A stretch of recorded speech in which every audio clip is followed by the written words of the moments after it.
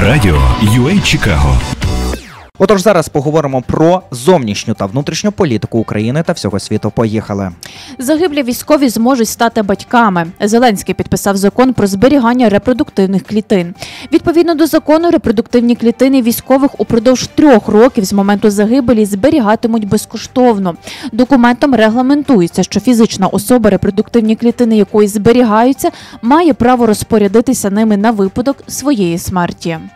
Данія анонсувала новий пакет військової допомоги Україні на суму 330 мільйонів доларів. Пакет передбачає передачу Україні САО Кайсер самохідних 120-мм мінометів та боєприпасів. До них допомога надана у співпраці з іншими союзниками.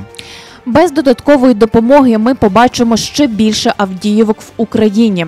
Про це заявив директор ЦРУ на слухання комітету з розвідки Сенату Сполучених Штатів Америки. Також голова національної розвідки США заявив, що відмова Америки від відновлення постачання зброї України призведе до втрати Києвом значних територій у цьому році. Але тим часом Сполучені Штати нададуть Україні пакет військової допомоги на суму у 300 мільйонів доларів. Про це повідомив радник з національної безпеки Сполучених Штатів Джейк Саліван. Він миститиме снаряди для артилерії та ракети. Це були усі актуальні новини з усього світу. Радіо UA Чикаго.